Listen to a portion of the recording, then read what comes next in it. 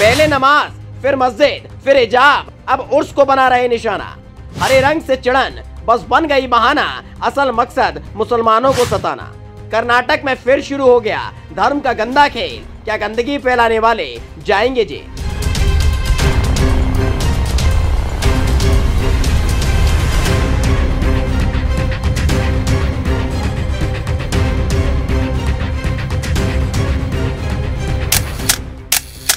2021 के आखिर में अचानक से लोगों को हिजाब से घिन होने लगी थी।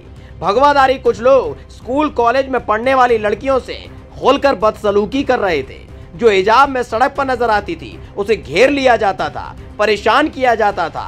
कर्नाटक में हिंदूवादी संगठन के लिए नया एजेंडा सौंपा गया था कि किसी भी कीमत पर इन बच्चियों को बख्शा न जाए।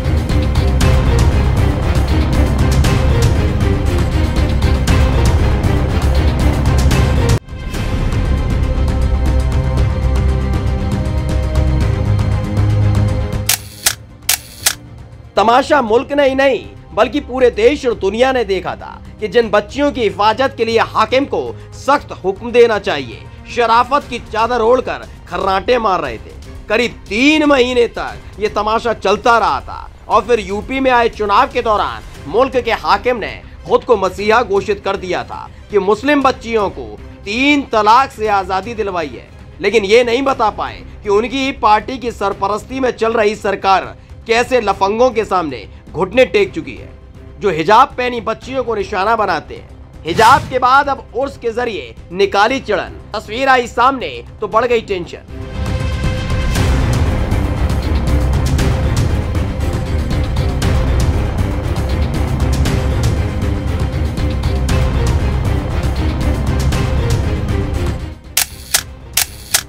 इस वीडियो के ज़रिए आप शायद कुछ समझ ना पाए। लेकिन कर्नाटक के मंगलूर जाएँगे तो आपको इन तस्वीरों का असल मकसद समझ आ जाएगा। जब मुसलमानों को हरदम एहसास कराया जाता रहा है कि सरकार किसकी है।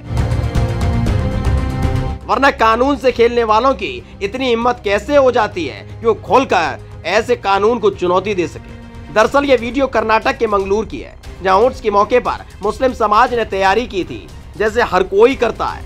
नारायण गुरु सर्किल पर हरे झंडे लगाए थे कि निकलेगा उर्स यहाँ से तो अच्छा लगेगा, लेकिन ये खुशी चेहरे पर बनी रहती, उससे पहले ही उस चौराहे को भगवा रंग से रंग दिया गया। हर तरफ़ भगवा झंडे लगा दिए गए।